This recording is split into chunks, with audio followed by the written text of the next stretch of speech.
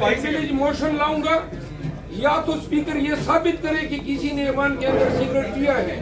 उसका निशाना मेरी तरफ़ है तो लिहाजा सारे आपके ईवान में कैमरे लगे अगर उसने झूठ बोला है, क्योंकि वो किस तरह इस मसनत पे बैठ के ईवान के हवाले से सिगरेट नोशी पे झूठ बोल सकता है, या तो वो साबित करेगा, वरना उसने मेरे इस्तेकाक में शुरू किया है।